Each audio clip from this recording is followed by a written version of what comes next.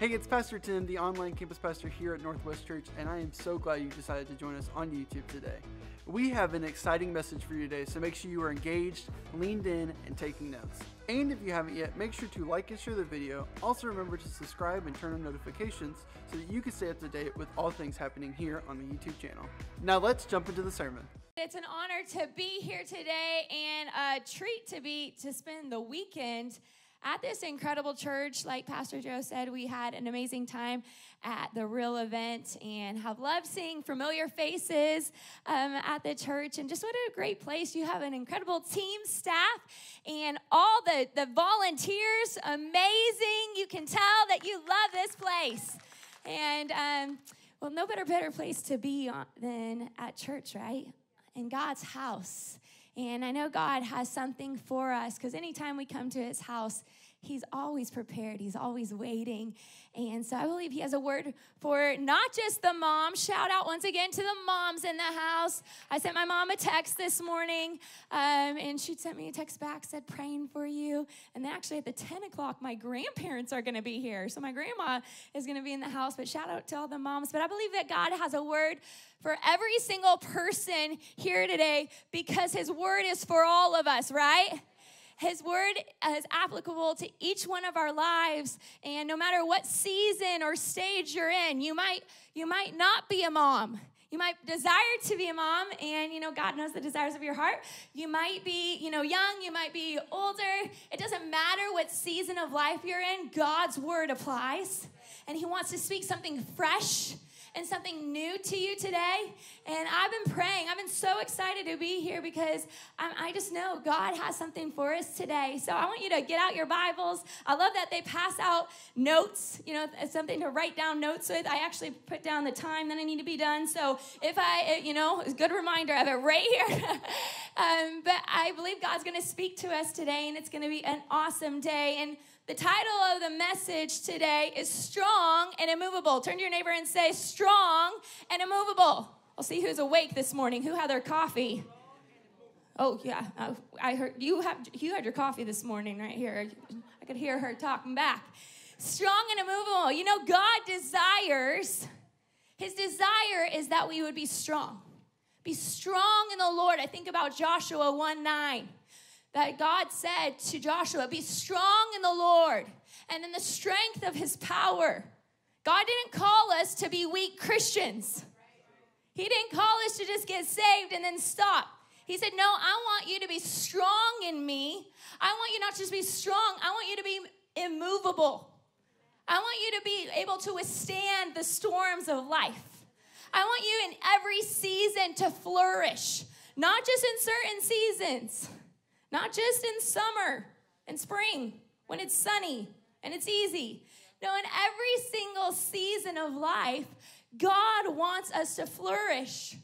And what does that look like? I love that Psalms 92 shows us a picture. I'm a very visual person. Anyone else visual? Like I see in pictures.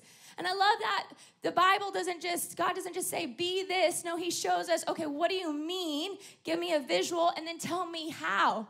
That God explains to us how in Scripture. And Psalms 92 says this But the godly, are there any godly people in the house?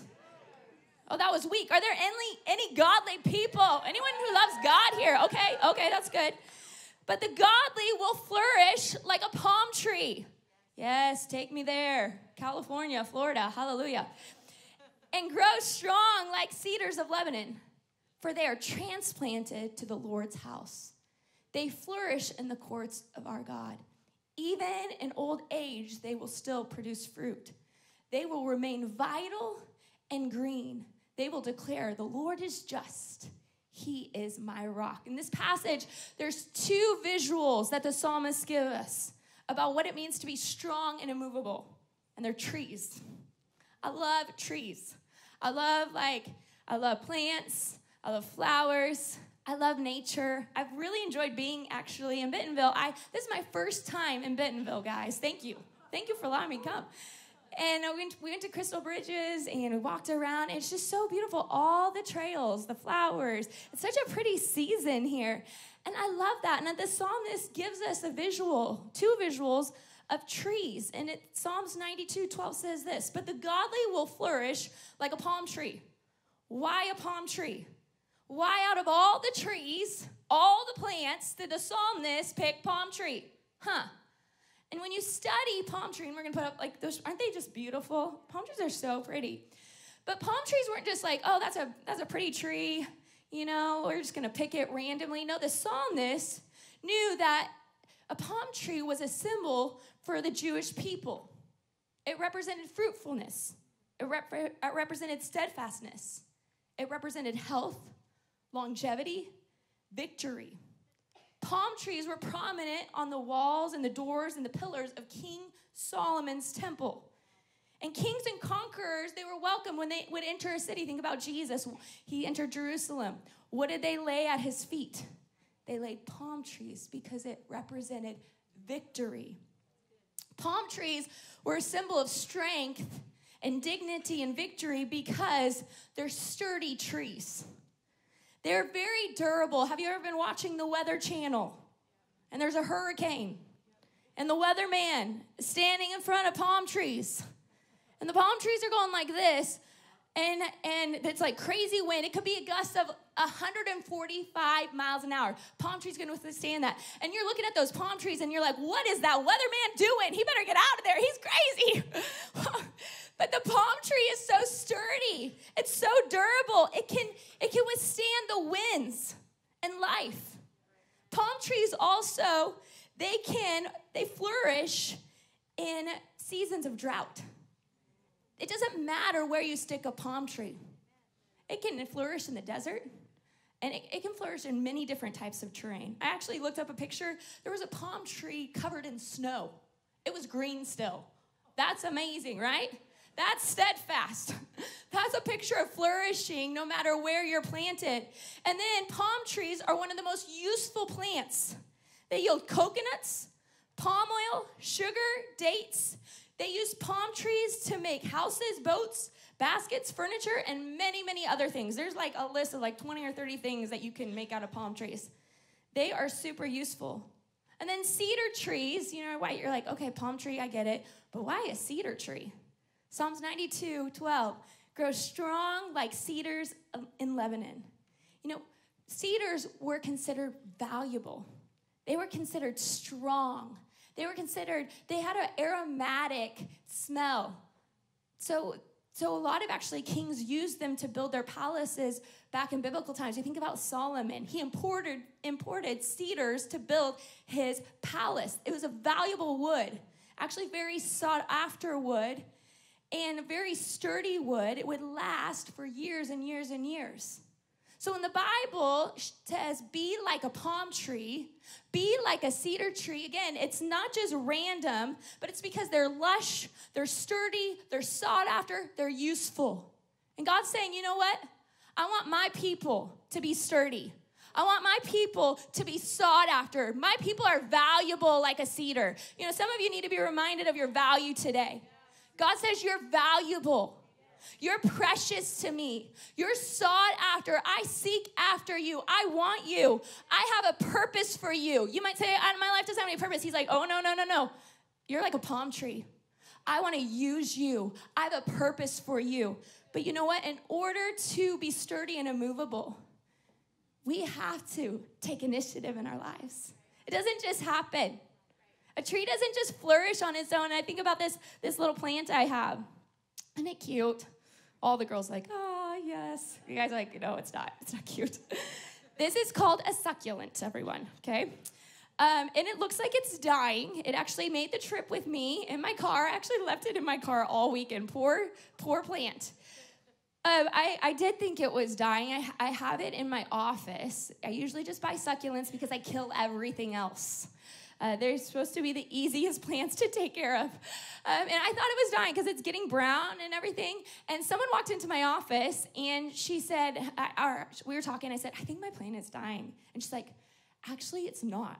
She's like, we thought it was dying too, and we looked it up online. This particular succulent, I didn't even know how she knew what to look up online. But this particular succulent, she said it's an endangered succulent. I'm like, okay, awesome. She said, actually, this is how it's supposed to look. It's supposed to look like it's dying, and then it has new growth. But you know, the thing with succulents is you don't have to water them a lot. So praise the Lord. That's why I bought it. This usually just gets water when a water bottle is sitting on my desk and I haven't drank it, and I'm like, okay, I have a little extra water, I pour it in there. That's when this gets watered. But and sometimes we treat though our walk with God like a succulent. We're like, we set it to the side. Ah, fine. We know Jesus. we we can make it. It'll be good. Oh, I have a little water. I'll water my soul just a little bit. I'll just pour into myself just a little bit. And you know, we can't expect to grow and flourish. This is not us. God's like, I don't want you to be that. I want you to be a palm tree. I want you to be a cedar. I want you to take initiative on strengthening yourself in the Lord. You know, Psalms, not Psalms, excuse me, First Samuel 36, it says, David strengthened himself in the Lord. King David learned the importance of strengthening himself in the Lord. Why? Because he knew that his help came from the Lord. That he had to own the responsibility to strengthen himself so that he would be strong and immovable. And I want to give you four simple characteristics on what that looks like in Scripture. How do we do that? How do we strengthen ourselves in the Lord? God wants you to go from strength to strength to strength. You might feel strong today, but God's like, I don't want you to stay there. I want you to get stronger in me. I want you to move forward in me. I have more for you. So, how do we own that? How do we strengthen ourselves in the Lord? And the first thing is praise. Praise strengthens us in the Lord. You know, with a service, we don't just, the pastor, Pastor Joe doesn't just say, you know, we'll just have some worship because, you know, that's what we're supposed to do. No, we worship because we know when we worship, we get stronger that there's strength that comes to us when we acknowledge God's power, it, we actually get stronger in Him. God deserves our worship. He deserves our praise. We were created to praise, but God doesn't want us just to worship Him because He knows, you know, He deserves it. He wants us to worship Him because He knows it benefits us. He is a good God, a faithful God. He knows when my people are in my presence, and not just sitting, but they're participating. They're worshiping me. Their eyes are on me. It strengthens them. The Bible says that the eyes of the Lord look to and fro to strengthen the hearts of those who are fully committed to Him. You know, God this morning is like, man, my people are in my house. I see them. He sees you here today. You being here makes you stronger. You might have walked in feeling weak, but as you lift your hands and as you say, God, I declare your goodness. God, you're faithful. I might feel weak, but you are strong and you're going to give me strength. Let the weak say, I am strong because of what the Lord has done. When we fix our eyes on Him, we begin to worship Him and declare His power and declare who we are. You know, when we worship Him, we remind ourselves of who we are, right? We're like, oh yeah, I'm a child of God. Oh yeah, God's on my side. Oh yeah, He's gonna help me. There's power in our worship, there's a strength that comes through our worship. And God says, worship me. And I encourage you, don't wait to church, come to church to worship God. Turn worship music on in your car. You're going to work and you're feeling, man, this day is too much for me. Put that worship music on. Doesn't who cares what other people think around you? Just don't get in a wreck, okay? Hands on the wheel, hands on the wheel. But you lift up your voice. Allow God's presence to fill your car. Allow God's presence to fill your office. Allow God's presence to fill your home. And watch your worship strengthen you. Watch it feed your soul. You know, trees, they can gravitate towards the sun. You can see a tree at times grow crooked so it can get towards the sun. Why? Because it needs the sun, right, to be healthy, to grow. That's what we should be. We should gravitate. We should say, I want to be in God's presence. I want to worship Him. God, wherever you are, I want to be there. I want to worship you, God, because I know as I worship you, you're going to strengthen me, you're going to feed me. And then the second thing, how do we get strong in the Lord? We feed on the promises of God. All God's promises are yea and amen. Do you know how many promises are in the Bible? Anyone want to take a guess? Anyone? There are over 7,000 promises for you and me. 7,000 promises. Can you believe that? That God has so many promises for us. And promises are like nutrients to our soul. You know, a, a tree has to be planted, and it can't just be planted in any type of soil. It has to be planted in a soil that it's gonna get nutrients. And it's not just enough to be planted, but the roots have to be deep. The deeper the roots are, the more nutrients the tree is gonna get. You know what? The deeper we are in the word, the stronger we're gonna get.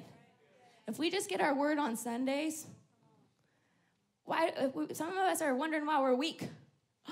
We're just getting nutrients on Sunday. Do you imagine if you only ate once a week? You would be weak, okay? Just as much as you need food for your body, you need the word for your soul. You need God's word. You need a feast on the promises of God. You need to speak the promises of God. In order to speak them over your life, you have to know the promises of God. Jeremiah 29 11. For I know the plans I have for you, declares the Lord. Plans to prosper you, plans to give you a hope and a future, plans not to harm you. That's the promise for you. You might think, no, that's a promise for them. No, that's a promise for you today. That's God's promise. Joshua 1 9 I already said this. Do not be afraid or discouraged, for the Lord your God is with you. God is with you. Philippians 4 19. And my God, you know, He's your personal God, He's your God. My God will meet all my needs. How many, how many needs? All. Not just some, right? He will meet all my needs according to his riches and glory in Jesus. James 1 5. If any of you lack wisdom, you should ask God, who gives generously to all without finding fault. That's just a couple of promises. But don't those just encourage you? As I read those, man, I'm, my faith is built this morning. I encourage you, feast on the promises of God. You know, there's promises that are for all of us, and then there's promises that God wants to give you specifically. And maybe God has given you a promise and maybe you've held on to it and hasn't come to pass. Don't grow weary. Trust God. Hold on to that promise. There's, there's two passages in, in the Bible that God has given me that have, have fed my soul for years, not months, not weeks, years. And I'm holding on to them. I feel like God's spoken them. What is the promise God has given you? What's your personal promise? Are you watering that promise? Are you praying over that promise or are you just waiting for it to happen? You know, God needs our participation. He has promises for us, but we actually have to walk in faith and say, God, you've spoken this over me. I'm going to walk in faith. I'm going to walk it out. I'm going to walk it out on the daily, God. I haven't seen it yet, but I'm going to keep trusting you. I'm going to keep living for you. I'm going to keep persevering because God is true to his promises. There's not one promise that he won't be faithful to. He just needs our cooperation. Psalms 145 13. The Lord is faithful in all his words and kind in all he does. I think I changed that in all his works. Kind in all his works. God is faithful. He will be true to his promises. But we have to hide his word, hide his promises in our heart to feed our soul. They're food for our soul. We need his word daily daily having His word feed us. And then as we feed our soul with His promises, we'll be strengthened in Him. And the third point is pruning. It's not, it's not as quite as fun, is it? Pruning. Pruning. But you know why a gardener prunes a plant? To make it grow. She's got it. To make it grow. It's not because a gardener's out to get a plant. You know, sometimes we can think God is out to get us. We're like, God, why, why are you teaching me this lesson? He's like, Because I love you, because I have more for you. And if you stayed where you're at and you kept making this stupid decision and these mistakes over and over again, you wouldn't get here. You wouldn't get to the promise I have for you. But if you yield to me, if you surrender to me and allow me to prune you, allow me to change you, allow me to help you see some things differently in your life. You know, God wants to take you to a new place. Maybe there's a new season God has for you, and you're like, why isn't this happening? God's saying, let me work in that area of your life. You're not ready for it. I want to work on your character. I want to develop that in you. And if you would surrender and yield, you, you would open the door for me to prepare you for that next season. John 15, 1 says this I'm the true vine, and my Father is the gardener. I love how he, Jesus uses Father. Good Father. He's a gardener. He doesn't use, he doesn't say, and God is the gardener. He says, my Father is the gardener. God is gentle, God is good. He cuts off every branch in me that bears no fruit. God desires that you would bear more fruit.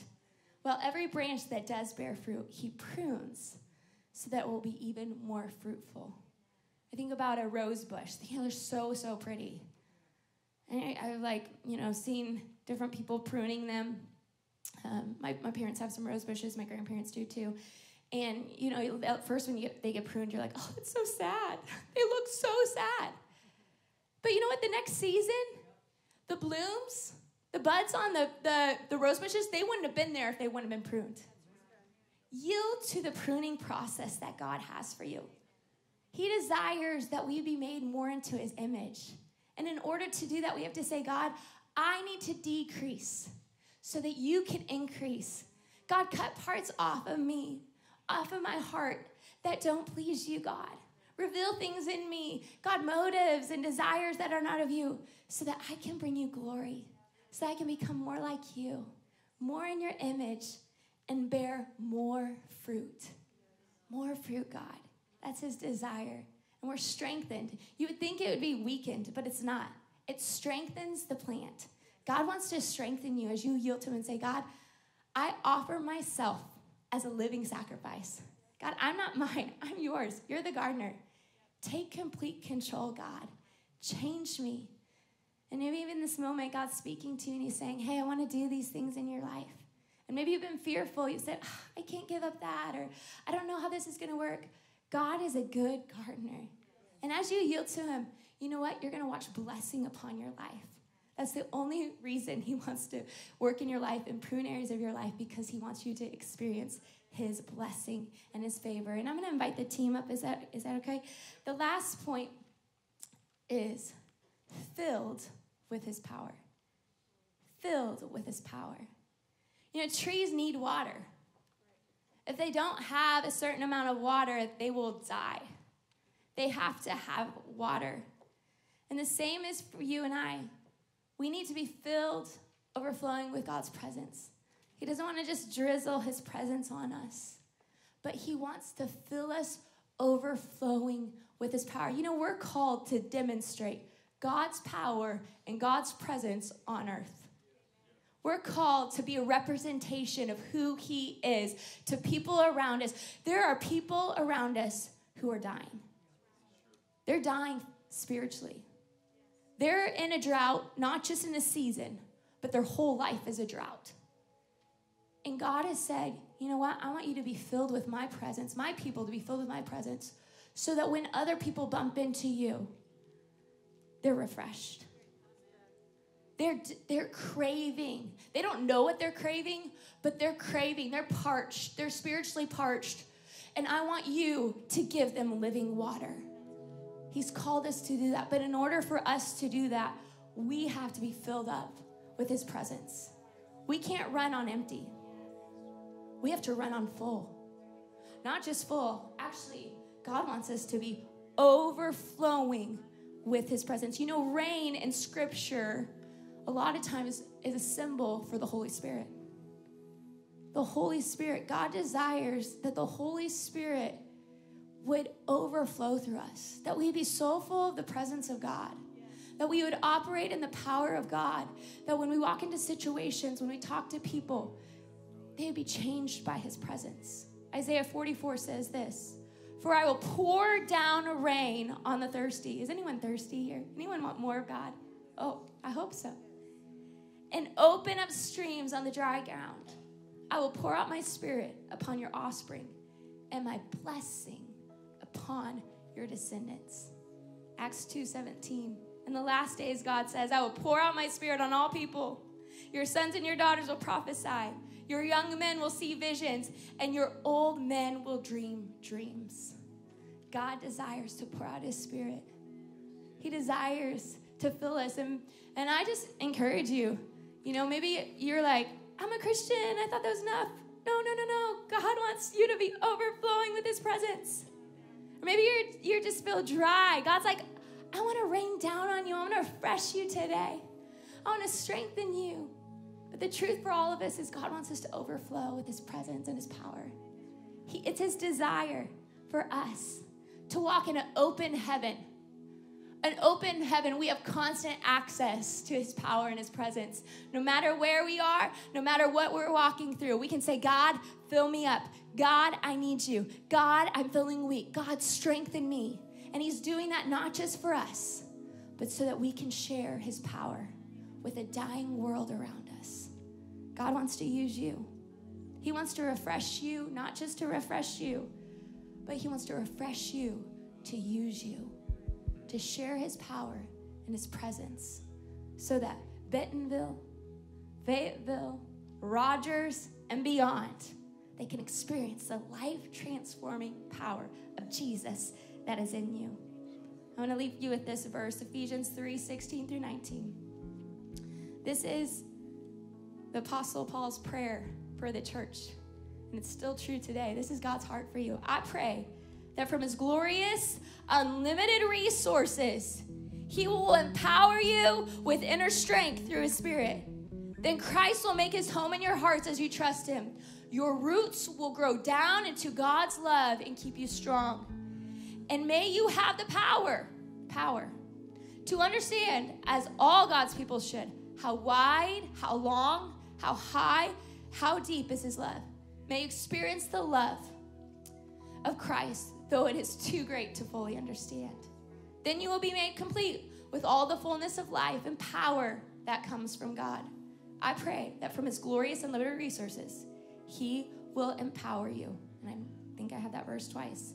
But you know what? God's desire is that we would be strong in Him. His desire is that we would know Him, that we be immovable, every single one of us, so that we can experience His blessing on our life, that we can be used by Him and bring Him glory. Can we bow our heads and close our eyes? Again, we want to thank you for joining us here on YouTube. And if you have made a decision to follow Christ today, make sure to leave a comment down below or to let us know at northwestchurch.tv. Well, if God has encouraged and strengthened you through this message, make sure to share this video with your friends, and we'll see you next time.